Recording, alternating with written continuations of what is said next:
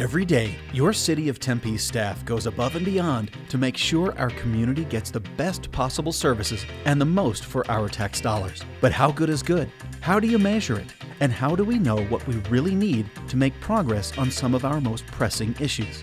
To guide us, we developed a series of goals designed to help us improve our community based on our Tempe City Council's five strategic priorities. Reaching for excellence, we are comparing ourselves against the rest of the nation as well as ourselves. Some of our goals will help save lives. Some of them will help us save money. All of them will help us make Tempe a better place. Tempe Accelerates is an opportunity for you to get involved. Hear what city staff and community partners are doing to reach our goals. Your role?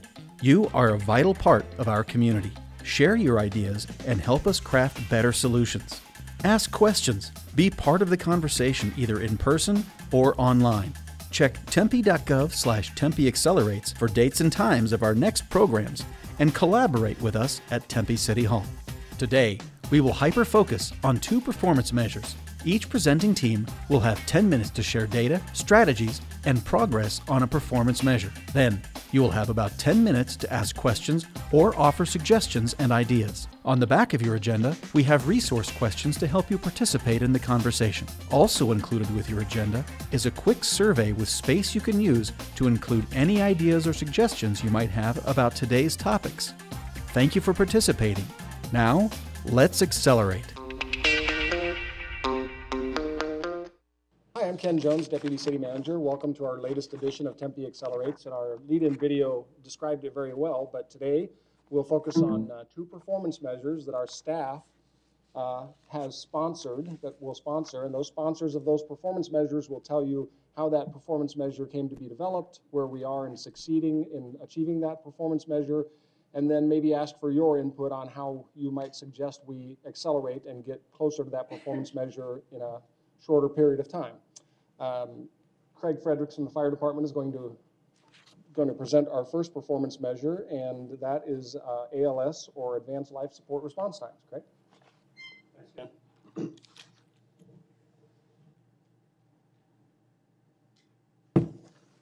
All right. So we- get credit for the size of the audience, so we invited half the fire department down here today, so, so we could pump up the numbers a little bit. Um, Thanks, Ken. Um, So my name is Craig Fredericks, as Ken mentioned, Assistant Chief of Emergency Services at uh, Fire Medical Rescue. And, and we are here to talk about our performance measure, which has to do with safe and secure communities. I jumped too quick on that. Safe and secure communities. And our performance measure is specifically to achieve total response times to advanced life support calls in six minutes or less, 90% of the time. Um, So, oh, let me back up just a minute, because I think there- there's a piece of there I need I need to explain. Advanced life support calls. So, so we, we split our medical calls up into two broad categories. Uh, Basic life support calls and advanced life support calls. Basic life support calls are those types of calls that um, have a, have a, uh, a lower emergent nature, nature. They're not necessarily life-threatening in nature. Think about things like orthopedic injuries, most broken bones, dislocated joints, some sudden illnesses that come on, but, but the symptoms don't rise to the level of being life-threatening in nature. The other category we're talking about today is those advanced life support calls. They require a higher level of, of, of medical care um, in the field from paramedics versus, versus EMTs. Those are things like strokes, heart attacks, cardiac arrest, diabetic emergencies, uh, drug overdoses, severe car accidents, those types of things. There's about 85 different ways to dispatch a, um, a advanced life support call. Medical calls uh, uh, altogether make up about 85, 80 to 85 percent of the, uh, the total emergent calls for service that we run. Out of all of our calls, medical calls, they make up 85 percent of it. Um, and out of tho- that 85 percent, about 57 percent of those are advanced life support calls. Uh, so that's why we chose it as one of our more critical calls, and it does make up a large bulk of, of the calls that, that we use, or that we go on, excuse me. Um, so where's the six minutes come from? It comes from a couple of different places. The National Fire Protection Association is, is a, is a group that creates standards for fire departments, standards of all kinds for fire departments. That is one of, that is one of the standards that they've created in one of their documents, getting to advanced life support calls in six minutes or less. Uh, it's also part of our accreditation. And accreditation process, is, as, as a lot of you know in here, is that once every five years, uh, look and evaluation at everything we do in our department. Um, And, and within the- that accreditation document, it is one of our, it is one of our goals to meet uh, six minutes 90% of the time in, in the ALS calls. So that's why six minutes specifically, but it doesn't really tell us why it matters. So the reason the six minutes matters has to do with, with physiology, and I'm not going to jump back into the college class, so um, no, no exam after this, but, and and Aaron will be happy because he says I get too technical, and I won't get too technical. But really what I'm talking about is, is, is the human body. We know how the human body reacts when, when certain things happen to it. So uh, in, in a very basic sense, you go out, you go through your normal day. Most of us go through a normal day, and our body is kind of in a steady state the whole way through the day, right? We're not getting, you know, better every day. We're not necessarily getting much worse every day. You're kind of in that steady state. When, when you, when an, an advanced life support type of a thing happens to you, be it a stroke, a heart attack, one of those things we mentioned, that steady state stops being steady, and that's a sudden negative event that's, that's occurring in your body. And you continue down that negative event until, until you receive some medical care. That's where we come in. The sooner we can get you medical care and, and stop that negative event and, the- and, the, and, the, and the trajectory of that and start to give you uh, the medication and the treatment that you need, the quicker we can get it turned around, get you to definitive care at a hospital, and the better your chances are for full recovery. So um, all the tissues in the body, they react to a lack of oxygen uh, differently. Um, That's why the American Heart Association has a thing called the chain of survival concept. This has to do with, with the cardiac um, issues that, that, that could occur, heart attack. Think about, in, in- in, terms of a heart attack, uh, the medical textbooks use the term time is muscle. And what, what they're saying by that is, is the longer you, that, that a part of your body goes without oxygen, the more of that you're going to lose. In this case, if we're talking about a heart attack, a heart attack, which is a localized event in your heart, I'm not talking about when your heart stops, that's cardiac arrest, but there's an area of your heart that's no longer getting the, the blood and the oxygen that it needs. Uh, you have about 20 minutes, we know this, before death of that part of the heart starts to occur and you start to lose that cardiac muscle permanently. That's why they have the chain of survival concept that includes us, the paramedics, arriving on scene in time to, to assess what's going on, start treatment with, within those eight minutes. Um, they have a, a thing called the chain of uh, recovery concept, and that has to do with strokes. Like I said, different tissues in the body, they have the ability to withstand lack of oxygen at different rates. If you think about a stroke, a localized event in your brain, um, within about four to six minutes of a lack of oxygen, you're going to start to have per- permanent brain damage in that area. Within six to 10 minutes, um, you're, you're, you're very likely to have that type of brain damage. So that's where those things come from. The best way I think I can really illustrate for you why the six minutes is when we start talking about cardiac arrest. So this is a picture of a well-coordinated heart, all right? This, this heart is working well together. All the chambers are working like they should work together. They're taking in blood into the heart and they're pumping it out into the system. Um, you can see this is, this is basically a picture of, of the electrical activity of the heart. You can see the peaks are all at about the same height. The, the low points are all at about the same point on the chart. There's space in between them. It looks smooth, it looks rhythmic. That's what a good looking heart looks like. When you enter cardiac arrest, this is what the electrical activity of your heart starts to look like. I got this picture from a program called CPR University out of the University of Arizona, which is something that we, uh, we, we were a part of. And um, you would enter car- your, your heart would look like this. If you enter cardiac arrest on the left side, that's about a 13 minute time span. On that left side, you can see that the peaks are not are no longer at the same height. The, the, the low points are no longer all at the same. They're all they're, they're at different heights. There's no space in between. What's basically happening to your heart right there is is it still has electrical activity, but it's not pumping any blood. Um, the good news is if we can shock your heart in that far left rhythm, we've got about a 90% chance of bringing you back. Um, this is our response times, and it has the components written up in the response times, and we'll get to that in a little bit. But um, this is where we're trying to come in at six minutes. That is still a very savable rhythm. Um, if we can get in there in that time, if, if CPR can be started or CCR can be started, we can extend those, those rhythms on that left-hand side. We have more time to work, and we still have a, a, a decent chance of, of, uh, of bringing you back out of cardiac arrest. So for every minute that you go along that timeline, uh, at the bottom picture there, um, your chances of survival drop by about 7%. So if we can get there in six minutes, we've got a very good chance of bringing you back. Um, so, kind of to sum it up, why the measures is why the measure matters is because um, we have a much better chance of giving you a full recovery if we get there soon and we start that medical intervention and start turning you back around the other way so you can start healing and getting better. So this is where we're at right now. This is our current measurement. You can find this on the dashboard on our website, uh, on the city's website. We're meeting six, six minutes, about 76, a little more than 76% of the time. That's a, that's a bar graph, reads from, from, uh, it goes back to 2012.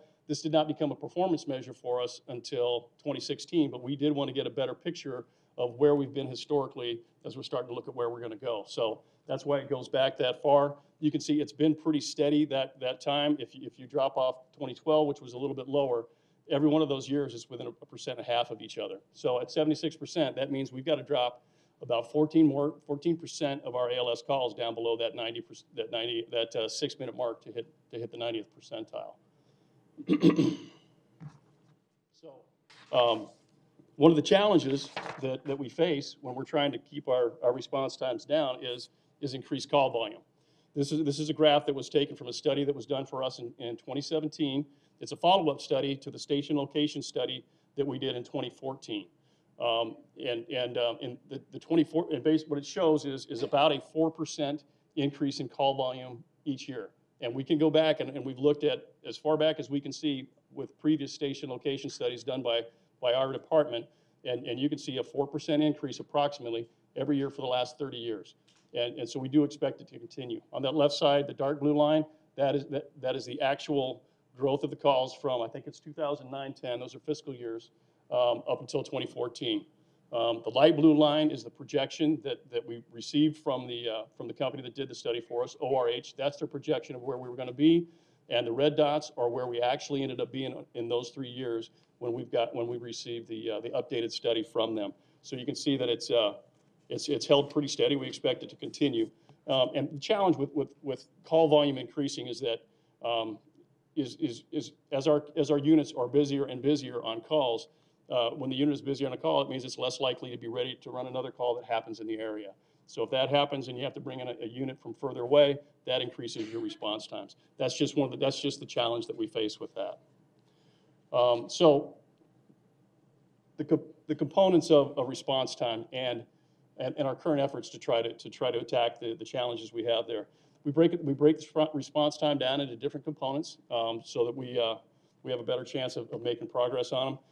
Call processing time is, uh, is the time between the time that, that 911 is picked up at the dispatch center and, and, and the truck is, di- is dispatched at the station. So in that amount of time, call taker's answering the phone, getting the information, asking the questions, putting the information in the computer, pulling up what needs to go, and to- so we have the right resources on, on this call, and then, and then the truck gets, gets dispatched. Turnout time is, is a time that occurs between the dispatch at the station and the time that, that the crew presses the button saying that they're getting ready, that they're leaving the station. So that time that they're moving towards the truck, putting on any protective equipment they need to put on, and then the truck moving out of the station. And travel time is, is from that time, when the truck leaves the station until it, uh, until it arrives on scene and the truck stops. It's not, which doesn't necessarily mean we've made contact with a patient yet.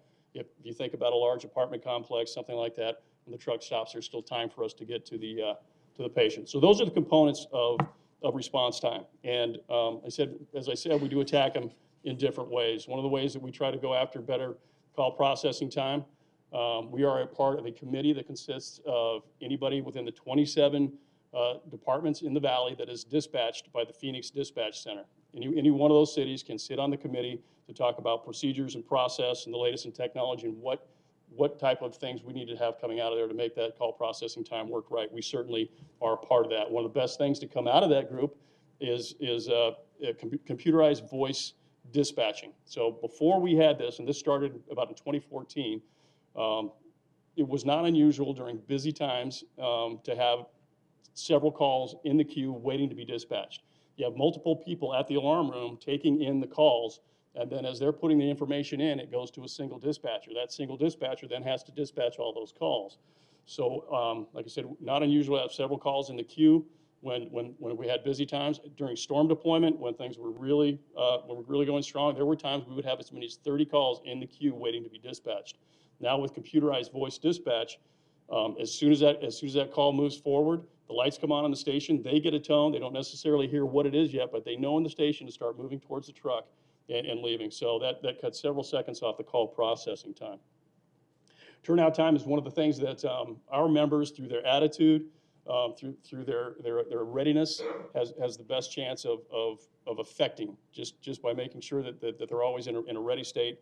And, and, and we, and we look at those things, we, we try to affect those things through a few different ways. Starts out with training in the, in the academies, when we start to try to build that culture of, of uh, being ready and, and understanding that uh, the quickness of response to all different types of calls. Uh, We continue that training um, in probation. Uh, it- Part of their probationary training is to learn all the street breaks and, and, and all of the roads in, in the city so that, so that they know which way to go. They're not driving the truck yet, but it's going to come down uh, in about a year to the point where they could be driving a truck on a call. And we want to get that culture going, that they understand the importance of quick response. Um, In medical CE, several times a year, we, we have continuing education on, on, on medical calls and, and procedures, and, they- and they get reinforcement on, on the importance of the timeliness of, of medical procedures and, and, um, and um, applying um, drug doses. Um, At times, we, for reinforcement, we'll, we'll publish what the turnout times are. So all of the, all of the units will know what their turnout time is. They know what the turnout time is for the truck on the other shift, um, and, and everybody around them. It's, it works pretty well to reinforce the, the idea that it's important, and plus kind of gets a little bit of a competitive spirit going, but that can also be a problem when you're pushing that button a little, too- little sooner than maybe you, you should be when you're leaving. Um, But uh, that's the human error piece of it. That's how we try to attack uh, turnout time. Also through, let me back up, station design. Everything in the station is designed to flow towards the bays. All the working areas, the living areas, it's all designed to flow towards the bays. And station design can have a big impact on our turnout times. If you think about the difference between a two-story station like we have at, at Station Six on Ash and, and a single-story station like we have at Station One on Apache. Um, single-story station, everybody's flowing through the doors to get to the trucks. Two-story station, you've got to get from the second floor to the first. We use pole holes for that, which look like a lot of fun, I know, but, um, also, if you have eight people heading towards the trucks, that can, you can get a little backup there and you end up losing seconds in that. So station design can play a big role in, in our turnout time. So travel time, um, several ways we try to affect that. Um, strategically locating our stations throughout the city so that travel distances are shorter. Uh, and, and, um, obviously affects travel time, making sure that they're near intersections but not at intersections so that they have multiple ways to turn coming out of the station. Um, resource allocation, uh, or excuse me, resource location makes, makes a big difference. That station location study that, um, we completed in, in 2014 showed us a few things very clearly. Um, Three of our current stations are very near their ideal locations. If you wiped out all, all of our stations, started again, our three newest stations are, are right where you would want them to be. We have two other stations that, that we consider to be in very acceptable locations. And, um, and then it recommended stations in northeast and southeast Tempe. And we're currently working, as you guys know, on Station Seven in southeast Tempe. And when that is completed, response times throughout the city, the 90th percentile citywide will drop by a few seconds. More importantly and more impressively, response times in southeast in Station 7's area uh, will, will drop by a minute and 23 seconds. So pretty good gain, uh, pretty good gain there. We also need to make sure we have the right assets deployed at the stations. Once again, thinking about two different stations, Station 4 on Elliott is a single unit, is a single unit station that we can, we can reasonably expect to rely on that truck to be available to run the calls in that area. Um, If you try to do the same thing on our, at our station on Apache, which is one of our busiest stations with two units, and you only had one unit in there, that unit would be gone so often that we would be constantly pulling in trucks from other stations, try to cover that area, equaling longer response times once again. Um, One of the, one of the best things we did over the last few years in, in terms of asset deployment was to convert our, our last BLS unit. We had one unit left that was uh, all EMT trained, no paramedics on it. So, so if they needed, if they were closest to a call and they, and it was an advanced life support call, they had to be supported by another unit. So we've, we've trained two paramedics on there. They, they have the equipment to run uh, advanced life support calls now. And so now you're only sending one unit on that call, not having to pull another unit out of service, um, quicker response times there. Um, Occupying our first dues. The first due of a fire station, and I've got to explain this because Whitehall told me I did. The first due in a fire station uh, is, is the area around that station that the unit from that station is most likely to get to the quickest. So that's their first due. That's what we talk about when we, when it's, when we're saying first dues. So we try to keep our units in our first dues. A few ways that we try to do that. We try to extend as much training as we possibly can through our Target Solutions software in the stations. So they can train, receive classes in the stations while they're in service, available, ready to run calls, as opposed to pulling them down to our training center out of service um, to, uh, for, for trainings. Um, If we have a fleet that, that is in good condition, we don't have, we don't have the breakdowns. And, and, you know, the obvious is if you break down on the way to a call, it's, right, it's, it takes longer. But, but it's a lot more than that. It's when, when you have a robust preventative maintenance program like we do, and you have a, a fleet that's in the condition we do, you don't have to go down to the shop and change it out, move into a backup unit. That entire time, you're out of service before you get back into your first due area. Um, We have a, we have a fleet that's in good shape and, and a good program for that. Our backup units are now stocked to the point where a changeover to a backup unit takes about 10 minutes. Several years ago, it took an hour. Those are, those are all things that we try to do for response times. Uh, One of, um, one of the things that we also do is um, our, our our IGA partners, the other cities that are, that are part of the Automatic Aid Consortium in the valley, those 27 cities, if we were to have a big call in, in the city of Tempe and, and, and our stations were to empty out and they were all on this call, it automatically starts looking for those kinds of holes in the system so that they will start to backfill, pull trucks from other cities to fill our, our stations during the, during the uh, duration of that call. They look for that all over the valley so that we don't have holes in, in service anywhere. Some of the things we do to occupy the, the first dues.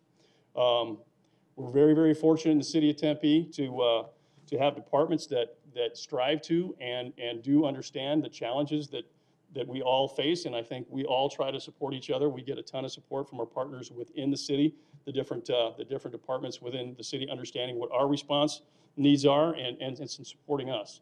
Um, we try to look for things in the city that are going to change, that might affect our response time. We have people in the rest of the city who come, who come to us when those things happen. When, when we um, started talking about putting bollards in downtown Tempe, people came to us and said, you guys need to be involved with this. This could, this could affect your response times. Some of the support we get, a couple of bulleted items on that. That's why Dave Cash will come to the fire station at three o'clock in the morning and work on our elect, on our electrical. So we're not having to manually open those huge doors and put them down, costing us seconds in our response times. Uh, streets, when they put in traffic calming measures in, in neighborhoods, they take time to, to, to design them and implement them in such a way that it doesn't slow down our response. Uh, They make it a priority to go out and fix any malfunctioning uh, preemption system. Preemption is, is that system that turns our street light to red while the other, in the others in intersection get turned to, to, turns ours to green, turns the other ones to red so that we can go through more quickly. So they, they make that a priority. We just had a meeting with uh, community development a couple weeks ago. Um, Where's Chad? Didn't see him here today. Where, where we were trying, where they, uh, they were trying to understand our needs for access and new developments, those, those kinds of things. Care seven, um, the unique capabilities that they have, um, re- releases us from calls so we can go back into service. Before they were here, it was one of the, there were a lot of needs that were not being met um, for our customers. And, and we would try our best to do it, but we weren't really trained to do those things for them. They come in, they have that high skill level. We leave the call, we go back into service to, to run the things that, uh, that we're able to run. Um, So strategies moving forward. We're going to take, we're going to try to take advantage of technology any place we can. Uh, We are the pilot program through the Phoenix Dispatch System for a, pro- for a program called Wheels Moving Time. This is where they're using GPS to track when the truck actually starts moving from the station, taking out that human error element that we talked about a little while ago with pushing the button. We know exactly when that, that truck starts to move. They've been working through the data for us for six, eight months now. They're, they're actually starting to use it a little bit in Phoenix, but we're the pilot program for it. We're going to start to get that information soon. So, so more accurate information. We're going to continue to take advantage of uh, station, station location studies, response studies, asset deployment studies. That company that did the original station location study for us has since done about a half a dozen more. Um, We're going to continue to do that. IT is currently working on some dashboards for us where we can get real-time information on, on response times. We can manipulate it and see exactly what we want to see, a certain truck, a certain station, a certain area. Um, So that's what we're going to try to take advantage from in, in terms of strategy for technology. Uh, Continue to make sure our resources are correct. As we mentioned, Station 7 is going in- into service in, uh, in southeast Tempe. That'll probably happen sometime mid-year next year. Uh, And we've had several discussions about, about a station in, in northeast Tempe already. Um, We have to be able to, we have to be open to new deployment ideas. Last year at this time, we ran a pilot study for a two-person low acuity unit, low acuity meaning lower level, um, lower level emergent care. Uh, We're talking, if you think about BLS calls and some other things, our, our standard response is a four-person higher acuity unit that's able to respond to all call, all calls. As a result of that pilot, the pilot was a success. We believe that the time is right now and the call volume is correct, that we can take a four-person unit out of station, our station two, and we can move it into Station Seven when it opens, as opposed to putting a whole new unit there. We can replace that unit with that two-person low acuity unit that'll work beside the four-person unit that's still there. So we have to be willing to try those, um, those, those different deployment models. And we will continue to um, look at alternative response. Uh, Our, our patient advocate services program uh, started out uh, by cold calling people that were frequent users of 911 and uh, knocking on the door and seeing if they could figure out and, and help them towards the proper medical care. If you're calling 911 um, 15 times a month, you're probably not getting the proper medical care. They've been extremely successful in, in helping people maneuver through the healthcare system to get the right healthcare and have really taken a lot of that chronic use off. They've become proactive in some other things, veterans um, telemedicine program where, where they'll go into homes of veterans and get them a- an, a- an appointment um, from their home using a computer to talk back to the doctor at the VA, and they can get those appointments months ahead of time. And, and what they've been able to do is, is to uh, prevent people from becoming 911 users to begin with. So, um, and then there's our ALS AMBO, or ALS ambulance uh, program that we're doing too. It's helping us to get our units back in service a little more quickly. So, challenges moving forward. Um, That call volume we talked about. Um, Growth in the city. The, the city is growing, not just that it's growing, but the way it's growing, and we're becoming more dense. And of course, that same, um, that same challenge we all have, as we're all trying to continue to provide the service we provide at the level we do, and maybe improve it a little bit in, in the budget. So that is, that is my program.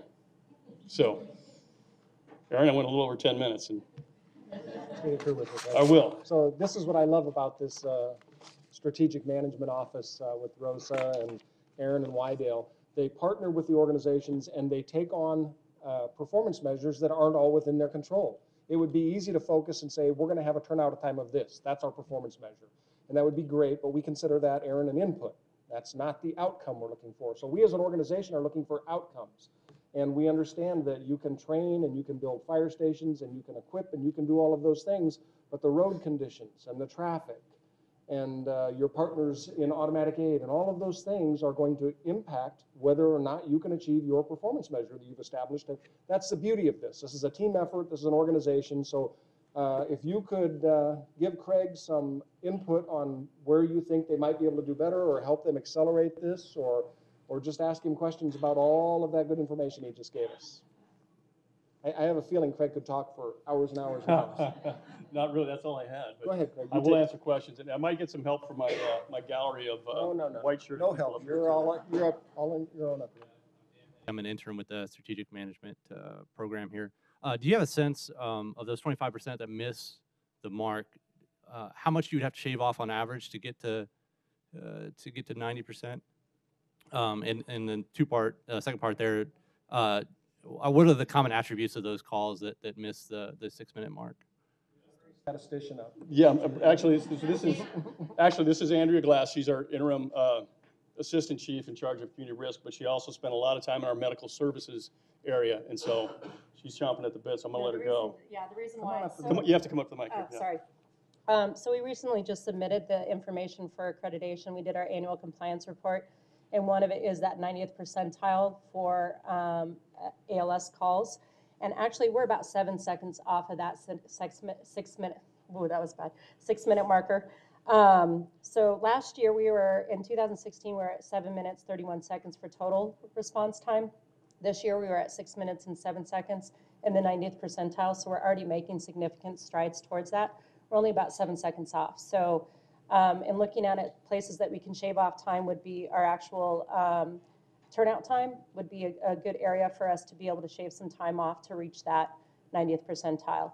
Call processing time um, increased or improved by about 10 seconds from 2016 to 2017 with automated voice and everything else like that. But um, the place that we really can shave off the time is our turnout time. There you go. Super. Other comments and questions?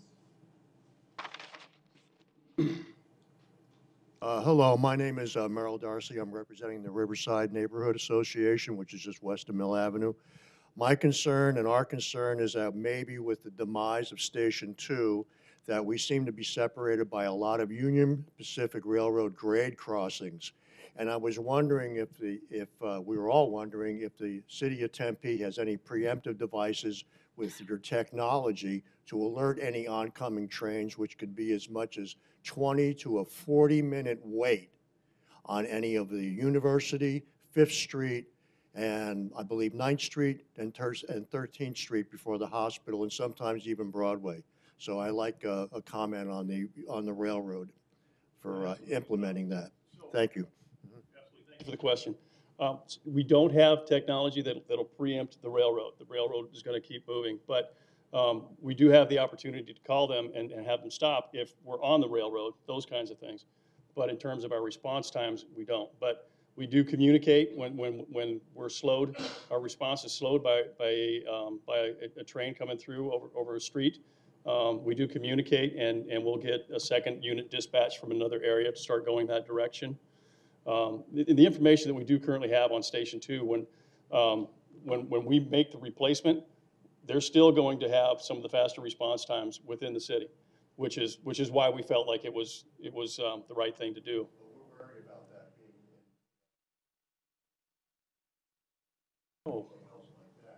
That we wouldn't have that opportunity because of Station Two would be out, and that would be our only choice for any response time west of that area, whereas the, the Station One on Ash wouldn't be able to, uh, to service any of the properties there because of the railroad. This is a big concern that we have. It's, it's happened a few times already during storms. I understand, I understand your question a little bit better. That we want to keep running. Is not going to stop running. It, it is, it is scheduled to be rebuilt, but it, it is going to continue to run through the rebuild process. And then, um, and then it's going to, it's going to continue to, to be a station in that area, um, as, as we move forward. We haven't decided ex- exactly where it's going to go, but, but most likely it's going to go right in the same place. And if, if it's not in the same place, it has to be right in that, in that general vicinity. Yes, that's not stopping. Yes, thank you. Craig, if I could just take this Yeah, opportunity, uh, I didn't mention earlier that we videotape these and we put them on Channel 11. So if you have questions, uh, people out watching in- on TV, feel free to call the fire staff or city manager staff, and we'll try to get you in touch with the right person uh, regarding any of these uh, sessions. But, and we also urge you to come down, and there's a schedule that is online that tells you when all of these presentations are. And I'll tell you now, the next one is December 13th, and I'll repeat that later. But thank you for members of the public showing up. Well, looks like you're off the hook. Thank you. Thanks. Thank you. Let's give him a hand. We have one other presentation and has to do, that was uh, more of an objective measure where we're measuring time and it seems pretty concrete, but we also have uh, more uh, measurements that uh, relate to citizen satisfaction, which this one is. And Martha's going to present that to you. Uh, Martha, if you want to describe your performance measure and begin. Is there a clicker? Perfect.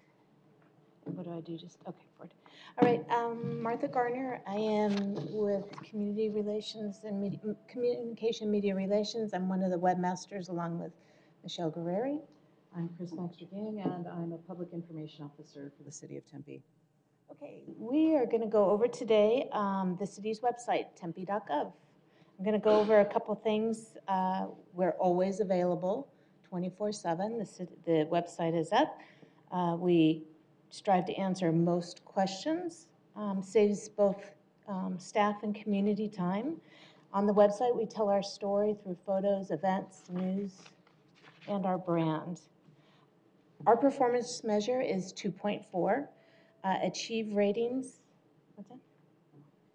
Achieve ratings of very satisfied or satisfied with the quality of city website greater than or equal to the national benchmark cities as measured in the community survey. The baseline is 68.4, and our target is to be among the nation's top 10%. The website is the number one way to get information. Um, And we found that out through the 2018 uh, resident survey. The website is the hub for city information. All roads lead to our website. Uh, Top way people can engage with the city. They go on there to pay bills, find events, find out when their trash pickup days are, register for classes. They go to the city site to get information or to do a task. Uh, The user experience, people need to be able to get on there quickly and get the information or complete their task quickly. Um, Helps us save sta- staff time and money. People are not calling into the city, um, taking up staff time. Saves our community time and money and helps us make sales, like our community, our commercial re- um, recycling and golf program. Oops. There we go. Um, Our, our city website supports all of the city measures. We cross over all of them. So good enough is not good enough. We are exceeding the national average as we are looking to be in the top 10% of our country. Website redesign is currently underway, and we will be launching later this month. On our new website, we have uh, enhanced features. Um, We have a large search bar. We have some new, um, new features. Uh, We're going to be putting the um, Tempe 11 um, videos on our homepage, and we're also incorporating our brand into the new website. So the City of Tempe website, um, as Martha said before, it's the number one way people get information about our community. But on top of that, it's the number one way they get really specific information about our community. They go online, most of the time what they do to reach us is they Google us, and they'll type in, how do I sign up for recreation classes? And Google will bring up the Tempe Recreation page. Um, and so they can go in right away, sign up for that class, get everything they need, and go away and not ever have to walk in our door. They don't have to worry about leaving work early. They don't have to worry about, do I have to go somewhere to pay this? Everything's available to them online right then and there. They can do it at midnight, they can do it at six in the morning. It's much more convenient for everyone. Our top users, according to Google Analytics, come from Tempe and Phoenix. And that, you know, that is a wonderful thing to know. We know that a lot of that is coming in from people utilizing those services. Um, Tempe is in the center of the valley, so we do draw from the entire valley, people looking for things to do here. Um, about half of our visitors were on mobile phones, like probably all of you are right now. Um, and um, it's really interesting because, for instance, community development, they have a lot of developers and they're doing their work at work on a desktop. 85% of the visitors to that particular section of web pages are visiting from a desktop. But if you are community services, chances are you're going in there on your mobile phone. We have stories of people seeing somebody outside the library or the museum standing there with their mobile phone doing this, and then they look up and go, oh, I'm here, and they walk in the door. Um, our most visited web pages are the library, um, Kiwanis Recreation Center, and jobs. These are pages where you can do things. These are things where you can find exact information. People want to be able to apply for that job. They want to be able to check out that book. And they want to know when the wave pool is open. Um, our data, the data we get from Google Analytics, really mirrors carefully our population. If you look over there, you'll see the biggest portion of our population is 25 to 34 year olds. It's the same for our website. Um, that cross, the, that, that circle that you see, the pie chart, it's very similar to what you would go to and see on the census. And then finding tempe.gov, once again, you'll see Google, you know, that organic search being the number one way. But surprisingly, the next most popular thing that people are seeing they're typing in the web address exactly. They're typing in tempe.gov slash fire. They're typing in tempe-gov slash library. They've either seen it on something that they've received, they've bookmarked it, or in some way they just know what our website is. They're typing it in directly. 27%, that's a huge number. Um, and that is, you know, very much a product of the marketing and promotions that we do, but also the internal promotions that you are all doing in your facilities. Um, if we can go to the next one. The challenges of the website, it's just the vast majority of the, the different programs. We have uh, the different departments, but within departments, we have a variety of divisions, uh, programs. So there's a lot to cover um, in, on the website. Um, We have thousands of pages. Um, This will be, we've moved over the, the old site, we're currently working on our new site. We've reduced the number of pages, but we still have thousands of pages. And so one of the challenges is keeping all of those pages up to date. Um, Things constantly change. And uh, the, the information that changes, um, the events, the news items, the meetings, things change hourly on our site. Um, And we serve all kinds of visitors, from recreation to developers. Um, They all have different needs, so that's a, a different challenge that we have, making sure we, we provide all those um, needs to everyone that's coming to our site, and providing um, equal experiences for everyone, um, including those who are not seeing our site but hearing our site. So making sure that we're compliant with the ADA. So our strategies, we are currently um, giving enhanced Webster trainings. Those are in the works. I think we have a few more next, or this month. Um, We also have content search and branding training that, that is, that happens after the Webster training. Um, We have a new style guide, so that helps the uh, Websters uh, help write correctly for the web so that they are within our brand, our new city brand. We do have a new, uh, we're, we're implementing the approval process. So we had hundreds of Websters. We, over time, we've reached out to each department. They've helped us identify who in their group would be a, a good Webster to keep up with these pages. Um, So we've narrowed the, um, or we've limited the number of Websters we currently have. Um, And so we've divided them into two groups. We have um, publishers and editors. So editors can go onto the web pages, make changes, create new page, new pages, but they will not be published for the public until the publisher approves it. So um, that's helping us uh, keep everything updated.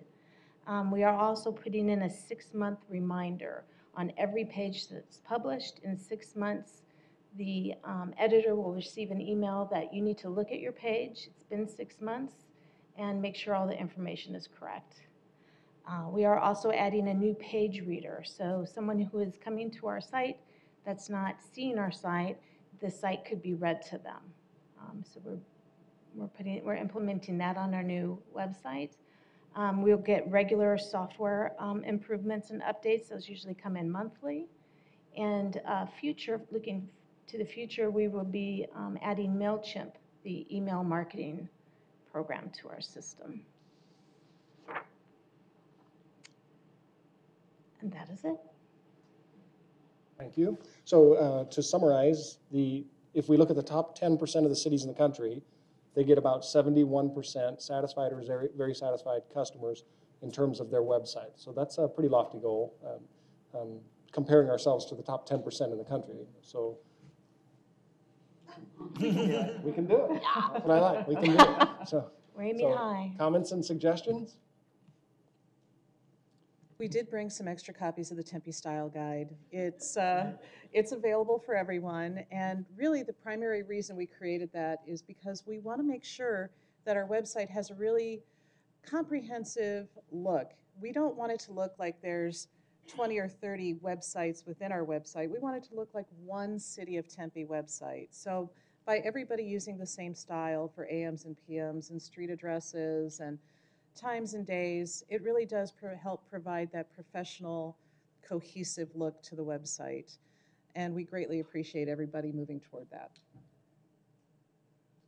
No question. While you're thinking of a question, I have a question. Um, We've made a lot of improvements recently. What is the trend on the improvement over the last several years? We've been, we've been doing citizen satisfaction surveys since 2007. What has been the trend in satisfaction with our website? Well, I believe this, um, this one that just came out yesterday, it was the first time that it surpassed uh, the newsletter that comes out in the water bill. The website. We've always been second. It's the number one way And the that citizen people get- satisfaction with the website, that's where we're getting our score, Is it, has it been getting better? It's been, I, I assume it's been getting better, right? Yeah. Yeah, so we're trending upward towards our goal. And I think a really good answer to that question is, everything digital is going up. Um, The number of people who are using our website has significantly increased. The number of people who use that to get information about the city has now become the number one way that they get information. Our social media numbers have gone up by seven points in the last year, so that's seven percent more people are using that as one of the best ways to get information about our city. And as time changes, print materials continue to scale down and digital materials continue to scale up. So kind of a double-edged sword because uh, people are becoming more and more dependent on this, this vehicle to get their information. So as they become more dependent on it, they might become less satisfied if we don't keep up with improvements. Right, so we, so another example of, we could have had a performance measure that said, we're gonna measure the number of people who use our website and it's going to go up, which wouldn't have given us much indication about whether people are satisfied with it. So instead, we've chosen to measure how satisfied people are with it. And another thing to think about is the sheer number of people who are from Tempe who are using our website. So really, also, part of that is dependent on the number of residents we have. Right. So the number alone would not necessarily be enough. But as our workforce grows and the number of visitors we have continue to grow, the number of visits to the website also goes up. Sure. And we just need to keep them all satisfied. So, so let's hear your comments about a bad experience with the website so, so that they can hear it. What- What's, what's your most frustrating? None? Break the ice. The planning department is, is probably the most difficult to navigate, I would think. Um, uh, From my experience and other, you know, either going through the, uh, trying to get to the design review, to trying to get to what project is on there, because we, a lot of us in a really dense area can't rely on the, on the 300-foot signs anymore, is that we have to go on the website in order to see what the new project is around the corner. And even though it's beyond the 300-foot level, we have no idea that this is even coming on. So we have to either go to the planning department and find out exactly what's happening on this property. So that, that's a big, uh, I, we feel a lot of, uh, with uh, me and Philip Yates and a few other people, we've had difficulty on that with the, with the uh, develop, with uh, development review and also the, uh, the planning department. So, yes. You are going to be so happy in a couple of months. I'm, I'm looking forward to it, you know, because it's a, it's actually a, a well-used and utilized site. A lot of uh, residents uh, use that site because we can't rely on the 300-foot limit with the, with the red signs, the zoning changes or any type of development changes or, or, you know, public hearings. So we need to have a, a little bit more uh, exposure to that on the website. A little bit about what we're going to be doing. First of all, about 36,000 people a year use the community development website. Or rather, not necessarily the number of people, but that's the number of times that that site is visited, 36,000 times. We are in the process right now of completely redoing the navigation for that website and setting it up so there are larger buttons that you can click. All the maps are going to be on one page. I think it's going to be a lot easier for you to find that information when we're done restructuring that section. And if it's not, you can email me and we'll talk about it. Right, So- because the trend now is, which we're teaching in our classes to the Websters, is to have people go to the site to do a task or to find information. So we're, we're training, retraining now that on the top of the page, because people see about it the first third, is to put buttons that will link down to the information that the end user is actually looking for. So you're not having to scroll or try and find the navigation to what you want to find out. So we've been, we've been going over that in class, um, putting buttons on the top third of the page to take you directly to the information. And the other thing that we've been working on is, um, some of our website is pretty text-heavy. And so we've been talking to people about maybe writing that a little bit shorter. The content training that we're doing really does help them figure out, how can I do this in a way that will eliminate some of the words, get people directly to what they need, and make that happen faster. So, like I said, community development is in the middle of reorganizing their section of the website. It's probably going to take a couple of months. But, um, you know, you'll need to go online and look at that GIS map that we have, though, because that's really great. You can look right at what's happening exactly as pin in your neighborhood. Other, other questions or suggestions? Thank you. Thank you.